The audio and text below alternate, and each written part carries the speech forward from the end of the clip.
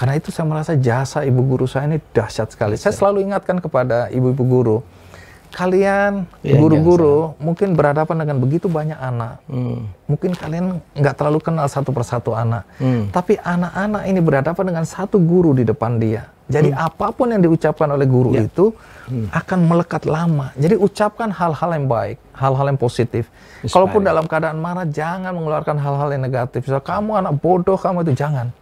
Karena itu akan melekat pada ingatan dia. Nah, guru saya selalu menyampaikan hal-hal yang baik.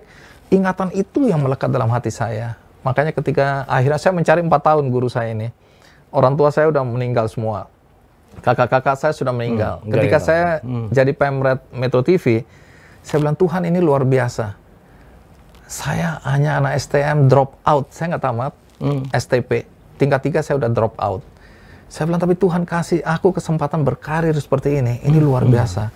Kepada siapa aku harus berterima kasih selain kepada Tuhan? Ayah saya udah meninggal, ibu saya udah meninggal, kakak saya yang dua ini yang berjasa dalam hidup saya udah meninggal. Lalu saya teringat ibu guru saya itu, dia orang yang berjasa dalam hidup